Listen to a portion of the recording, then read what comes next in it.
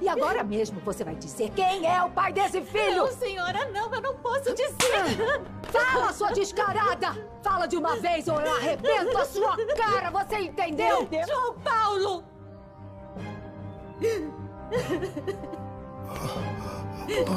O seu filho, João Paulo, é o pai do meu filho!